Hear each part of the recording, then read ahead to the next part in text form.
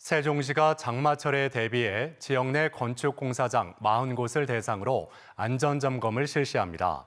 주요 점검 항목은 수방 대책 등 안전관리 이행 여부와 배수로 침사지 등 배수 시설, 그리고 흙막이와 비탈면 등의 관리 상태 등을 집중 점검합니다.